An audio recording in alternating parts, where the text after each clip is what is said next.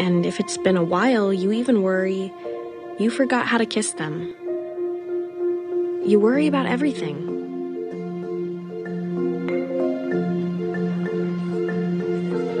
There's my guy. But now, I'm not worried about a damn thing.